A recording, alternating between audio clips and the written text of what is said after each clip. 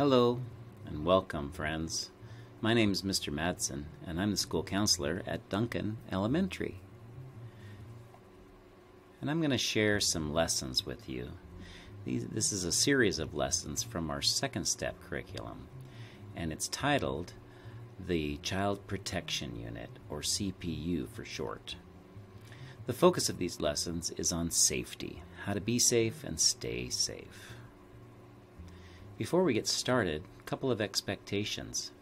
I want you to be an active listener, meaning I want you to find a place that you can listen to this lesson without distraction, if possible. Now, I know during this time of of shared workspaces and shared living spaces that it's difficult sometimes to do that. But I want you to try your best because you'll get the most out of this lesson if there if there's a few distractions. I also want you to participate just as if we were in the classroom. Okay, so when I ask a question, I want you to think about it and maybe even answer out loud. Okay, um, even though I can't hear your answers, um, I, it'll give you more meaning as we do this lesson. And if there's an adult or an older sibling that can watch this lesson with you, that would be awesome. In case you have any questions, they would be there to be able to answer any. So let's get started. First question Who keeps you safe? Think about that for a moment. Who keeps you safe? If you thought the adults in your life, like your parents, grandparents, older siblings, teachers, principals, coach, you're absolutely right. They are all here to help keep you safe. Some of them watch after you and they help you teach they teach you the rules about safety, okay?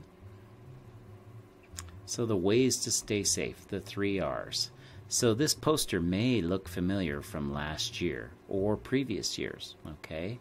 And it's the Ways to Stay Safe poster, or I call it the three R's, because each of the three um, points all begin with a word that begins with the letter R.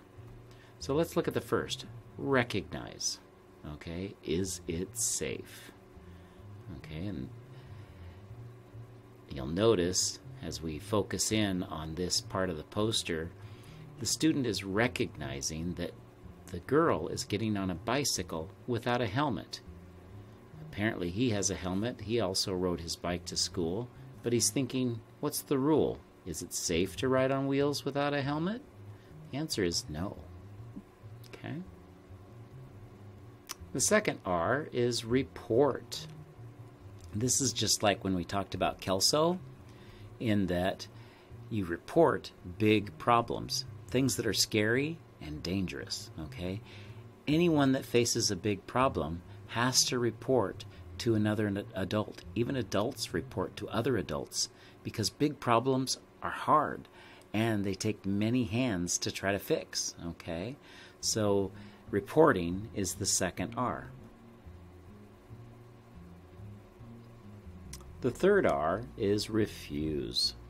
And this is meaning that you say words that mean, or actually, R is the word no. You're saying no, you're refusing. In looking at this picture, you can see she's got her hand out and she's saying, No, I don't want to be a part of the dog pile. If you look at the people in the dog pile, really there's only one person that looks happy. All the others don't look so happy. So she's refusing. She's using her words to refuse and say, No, I don't want to play that. So we have the three R's, the ways to stay safe recognize, report, and refuse. There's another rule that I want to remind you of, and it's the always ask first rule. Always ask a parent or the person in charge first. So I've got some situations that I want to share with you for us to think about. And no, they're not about minions, but I just thought this was kind of a funny picture. But these situations will want to use the Ways to Stay Safe poster to think about how to respond. Let's get started. This is Samuel and his friend Terence, and they are walking to school. Terence overslept this morning and Samuel just realized that they're probably going to be late. Samuel's afraid that he will get into trouble with his parents if he's late for school. Have any of you ever been worried about being late before? Yeah, it's not fun to be late. You walk in after everybody's getting started. Usually everybody looks at you. It's, it's an uncomfortable feeling. Terence says that they can get to school faster if they cut through this empty lot. Samuel feels uncomfortable about going through the lot. It's not on the safe route to school that he promised his parents he would follow. Hmm. So Terence says, I want to cross this lot. It'll be faster for us to get to school instead of going around the block. But Samuel is uncomfortable with it. Sometimes our friends are going to suggest us to do things that we're uncomfortable with. It's good for us to think about and practice ways to say no in order to keep ourselves safe and to possibly keep our friends safe. You can see on Samuel's face, he doesn't look happy about it. Terence says if they hurry and cut through the lot, they'll get to school on time.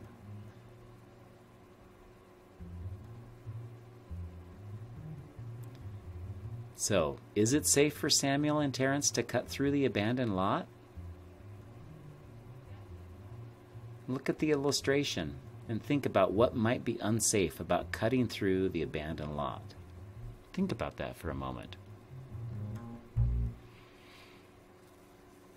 One thing I notice is there's a temporary fence. That's what that chain link fence on the post, it's a temporary fence. Usually construction companies use that to keep people out of an area they don't want them to go into, either because they're clearing an area out to build or they're building and they don't want people trespassing. So, if that fence is up, does it mean that, hey, you should walk through here? Probably not. And we don't really know what's in this lot um, we looks like there's a couple of puddles and maybe some bricks on the ground, uh, but we really don't know what's in the lot. But if it's fenced, it usually means stay out. Samuel isn't sure what to do. He thinks the lot might be unsafe. He or Terence might get hurt.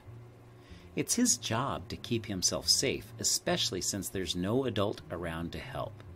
But he also doesn't want to be late for school. So the boys are in this bind.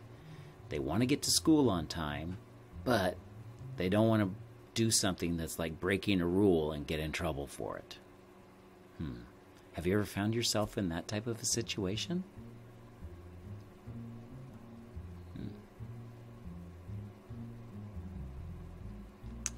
Samuel decides to use second step and refuse to cut through the empty lot. What can Samuel say or do to refuse Terence? What do you think? What are some words that mean no that he could say to his friend? If you thought just saying no, let's go the way we're supposed to, that's the simplest, right? And maybe we can walk faster, right? Or maybe we can even run. It's possible, but stay on the path you're supposed to go on. Samuel tells Terence he doesn't want to cut through the lot, but Terence decides that they need to go that way anyway. So he doesn't listen to his friend. Samuel doesn't want to leave his friend, so he follows and goes along with Terence. The two boys run through the lot trying to get to school on time.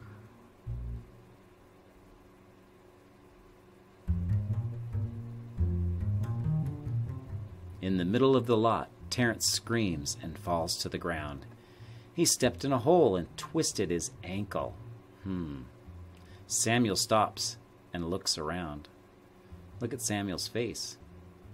He looks worried.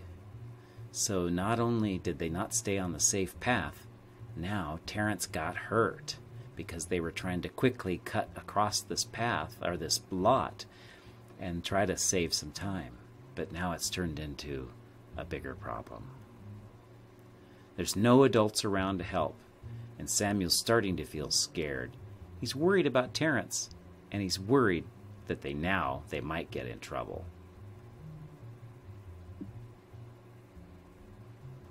What should Samuel do? What do you think? It's kind of a sticky situation, isn't it? Terence is in a lot of pain, and he can't even stand up. Think about how Samuel can report this situation to an adult and help his friend. How might you report it?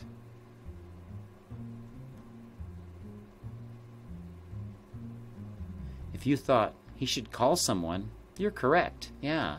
A lot of kids have phones these days, and maybe Samuel and Terence would have a phone, and they could just call one of their parents, even though they might get in trouble for not staying on the safe route.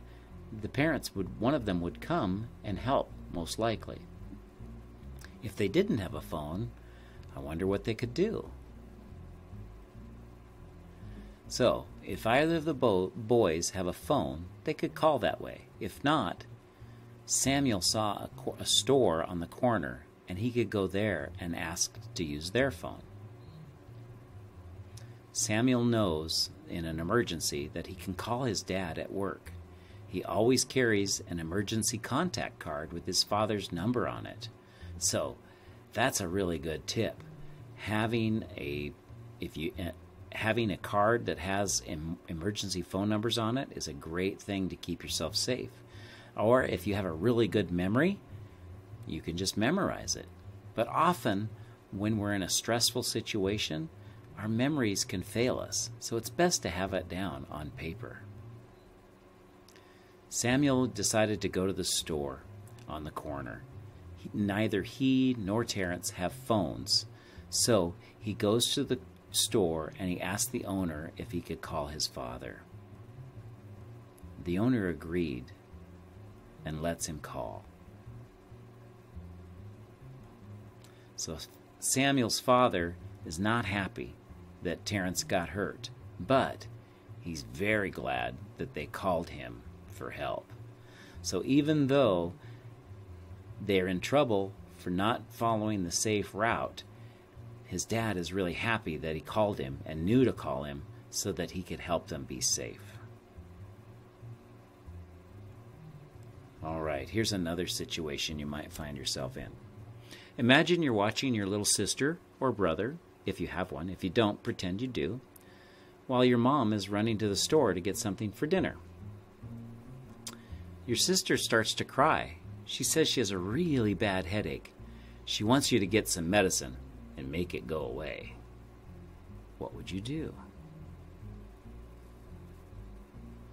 Are kids supposed to give medicine to people?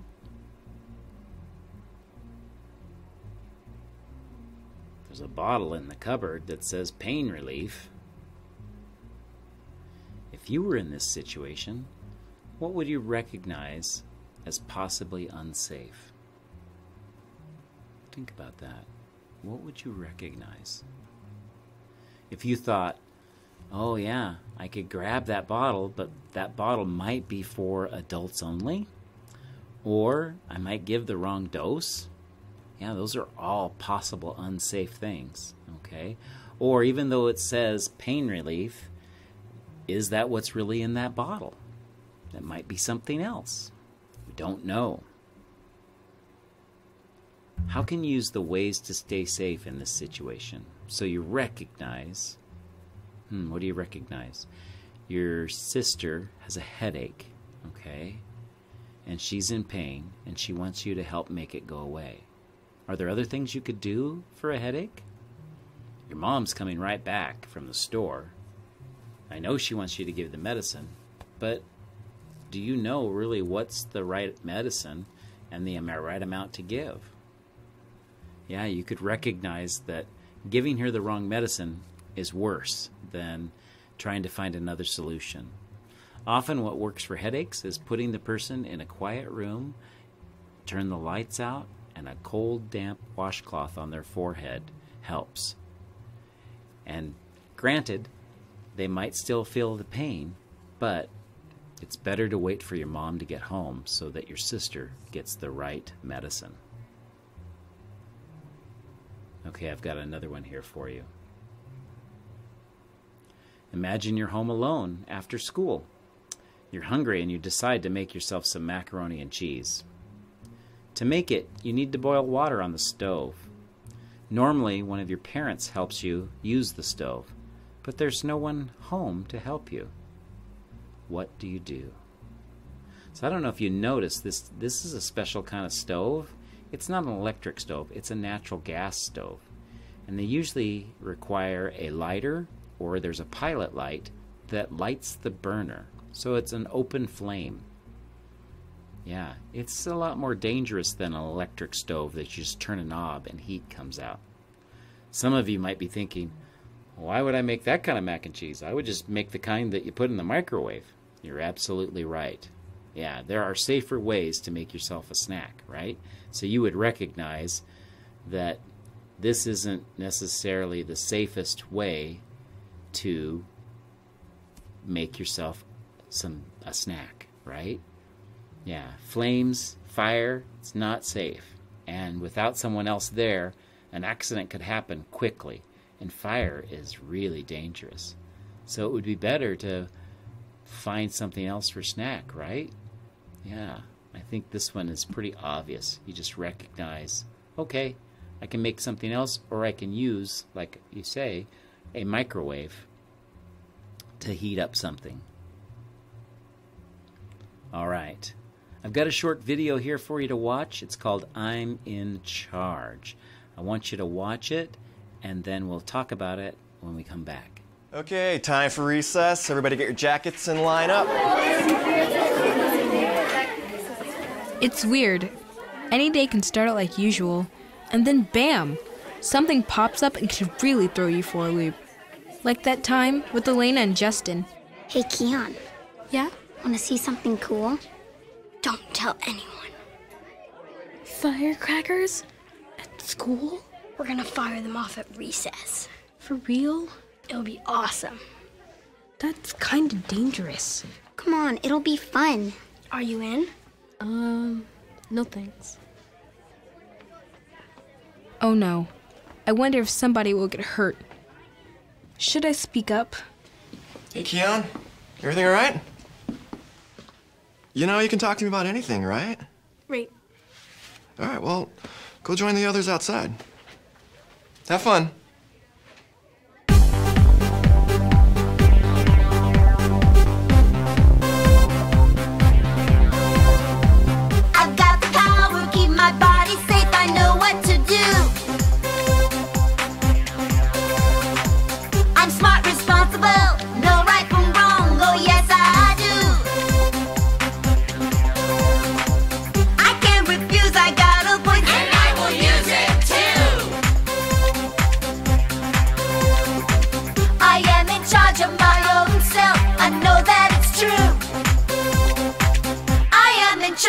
My own self.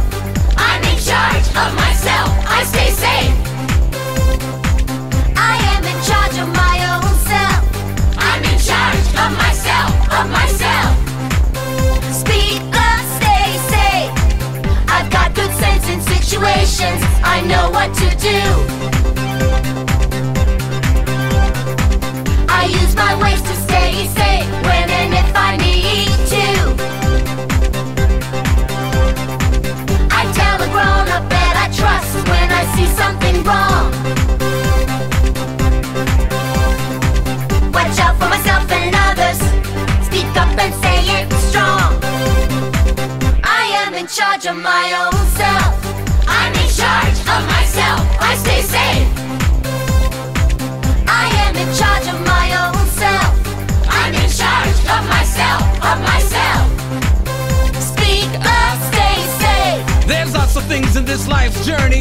Can cause alarm.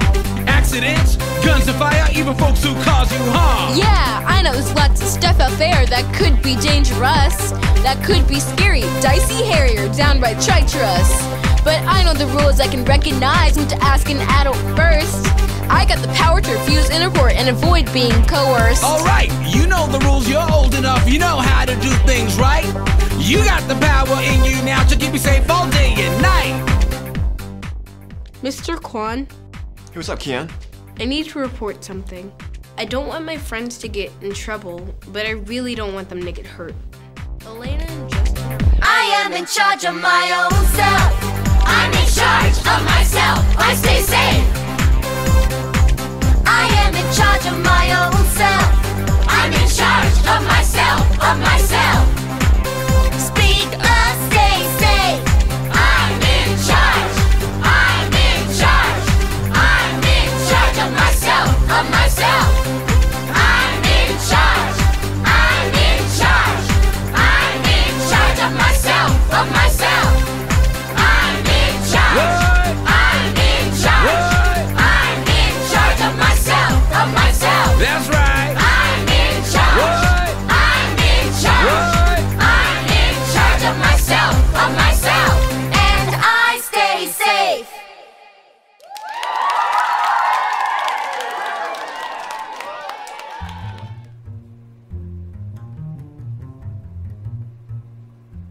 All right.